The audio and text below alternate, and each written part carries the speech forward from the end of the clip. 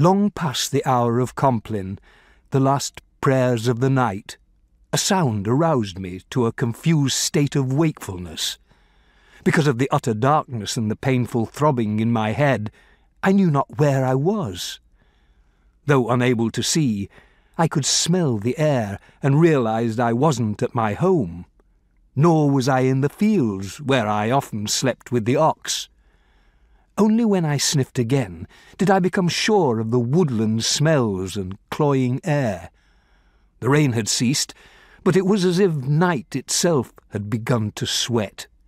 Then, in a burst, I recalled my mother's death and burial, my leaving the cemetery and the priest, my plunge into the woods. I remembered tripping, falling. Putting a hand to my forehead, I felt a welt and a crust of hardened blood. Though my touch made me wince, the pain banished the remaining dizziness.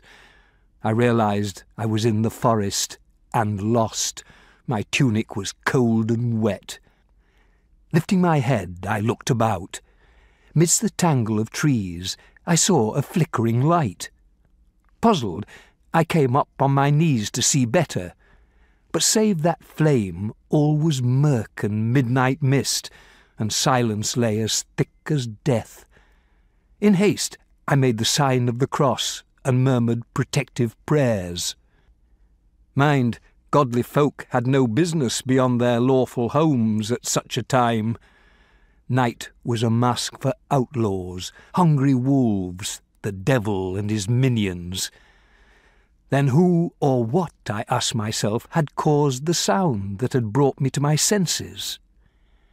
It was my curiosity, another name my mother had often said for Satan, that made me want to see what was there.